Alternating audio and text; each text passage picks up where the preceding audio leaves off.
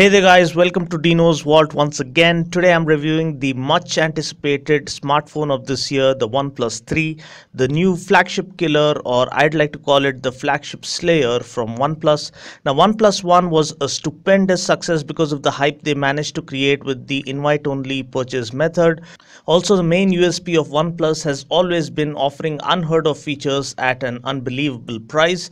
Now long story short, the OnePlus 2 somehow failed to weave its magic because because it missed out on certain important features. Still, I chose to buy the OnePlus 3 because sometimes I feel it's better to go with what your heart tells you rather than giving room for too much reasoning. Well, this is the retail unit I ordered last week and I received it this past Sunday. So let's not waste any more time and dive straight into the review. In this video, I'll be doing the unboxing. I'll be sharing my first impressions as well as everything you need to know about this phone. I'll also be checking out the camera performance and will be sharing some snaps and video clips that were shot using this phone. This is my first OnePlus phone so I'm really excited to check out what makes it such a thumping hit with the enthusiasts. Now out of the box we find first the superb looking handset. It looks premium, sturdy and very sleek. We also get the quick start guide as well as the user guide in the box. We then of course have the SIM ejector tool. Digging in further we find the dash charger, the much talked about hero of this rendition of OnePlus that promises 60% of charge within a span of just 30 minutes. We also get the Type-C cable for charging and data transfer which is of very good quality. The charger also employs 5 custom safety measures to protect the adapter, the cable and the phone from power fluctuations. Unfortunately, we don't get any earplugs in the box, but that doesn't really matter for me because I already have these and believe me, these sound superb. The sandstone black back panel on the OnePlus One gave it a unique visual appeal in the market. However, now we get a full metal space grade aluminium alloy body structure that does exude the premium feel, but it also renders it very slippery if you aren't careful. The body is carved out of a single slab of metal to make for a seamless and stunning looking design. The phone is extremely thin at just 7.3 millimeters. As a result, it is among the thinnest smartphones in the world currently. Now, looking at the physical layout, up front we get an 8 megapixel front facing camera and the other regulation sensors like proximity and ambient light sensors. At the bottom we get the speaker, the dash charging port and the primary microphone. On the right hand side of the device, we have OnePlus's famous and unique alert slider, the notification control button with which you can control what notifications should appear on your phone. We also get the volume rockers here. On the left hand side of the device, we have the slot where we find the dual SIM tray and the power on off button. At the back, we have the 16 megapixel primary camera and a single LED flash. I wish it were dual, but as long as it is effective, I guess it shouldn't be a problem. We will take a quick look at how the camera performs later in this video. Powering up the phone, the startup animation looks quite good. While setting up the phone, we have the option of setting up our fingerprint scanner. We then have the option of going with on-screen navigation buttons or the capacitive touch buttons. Then we can also activate various gesture features like double tap to wake, drawing O for camera, drawing a V for flashlight, etc. So once the phone is set up, we are welcomed by the trademark never settle home screen from OnePlus. Now, does it mean you'd never be able to settle down if you buy this phone? Or will it leave you completely unsettled? Well, I'm just kidding guys. I know it means never to settle for mediocrity, but to always strive for excellence. This attitude of OnePlus is what has managed to impress the tech enthusiasts worldwide and I hope they would continue to deliver blockbuster products in the days to come. Now getting back to the review, long press on the home screen screen we have the wallpapers widgets and customizing options Changing wallpapers is a lot easy now for both the lock screen as well as your home screen as you can see for yourself. Swap between which one you want to change and then just choose the one you like among the ones listed. Then we have all the widgets that can be added to the home screen. The customizing options are quite interesting. As you can see, we can turn off the shelf option, the quick search option and the notification drop down option if you don't prefer to have them.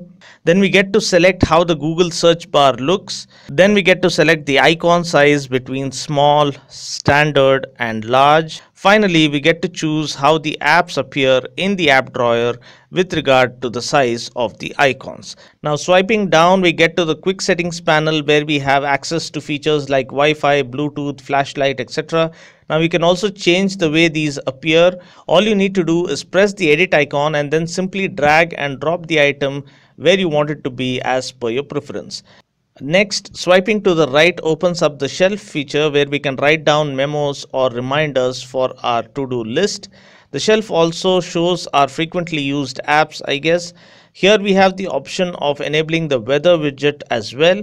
Getting into the settings, we see that we do get adaptive brightness feature, which is excellent. Thankfully, the NFC feature that went missing with the OnePlus 2 is now back with the OnePlus 3. Also, I personally like the notification LED color changing option. We can choose different colors to denote different purposes. For the regular notification, I have set it to yellow. When the battery is full, we get the green light. When the phone is charging, we get the blue light. When the battery is low, we get the red light. Getting into the app drawer, thankfully, there is no bloatware at all. All the pre-installed apps are the necessary ones. Also, the Oxygen OS UI based on the Android Marshmallow 6.1 seems very pleasant and easy to operate. It also gives us a pure and stock Android experience.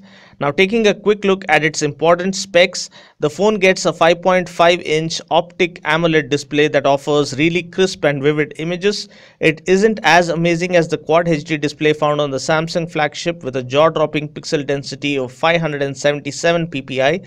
The OnePlus 3 offers a 1080p display with a pixel density of 401 ppi. Nevertheless, I think it is very decent considering the fact that it costs just half as much as the Samsung S7. Other specs include 64GB of internal memory. Now there is no provision or hybrid slot to expand the memory via a micro SD card. As you can see here out of the 64GB we have 52.66GB that is available out of the box.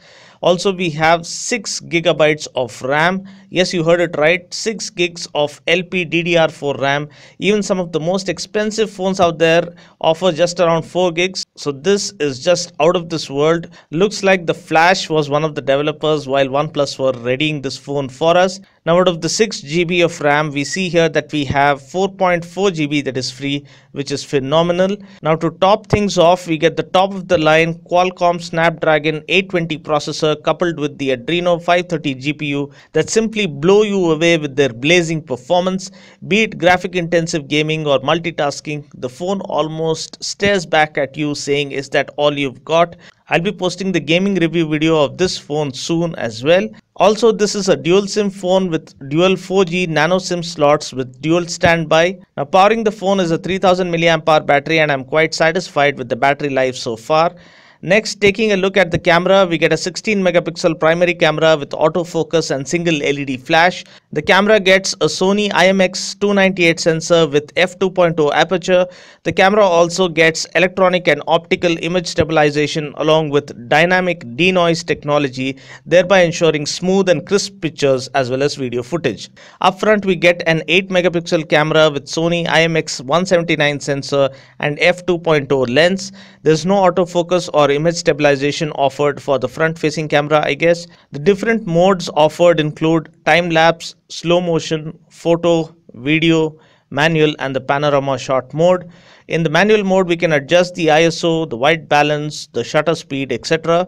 Now here are some sample images that were taken indoors. As you can see, the images are really crisp and vivid with the colors being reproduced really well. Here are some images that I took outdoors. You can see the images have come out really well considering its price range. Now here is a selfie that I took indoors under low light conditions. Now this one is taken outdoors as you can see and there is no noise apparent and the pics have come out very smooth as well. Now this is a panorama shot taken via the phone and finally here's the full HD video clip shot using this particular phone. I'll be uploading the 4K video sample separately. As you can see the video has come out really well and the optical image stabilization ensures that there are no jerks or shocks apparent in the video footage. Well I'm afraid that's about it for now. The phone is currently priced at rupees 27,999 and is available exclusively on Amazon. One thing I did like about the phone is that there is no invite needed as of now for you to buy this phone. I'll be uploading this phone's gaming review soon. Also, I'll try and come up with other videos like long-term reviews pertaining to this phone in the days to come. Hope you found this video useful. Until next time, this is Dino saying ciao. Take care and God bless.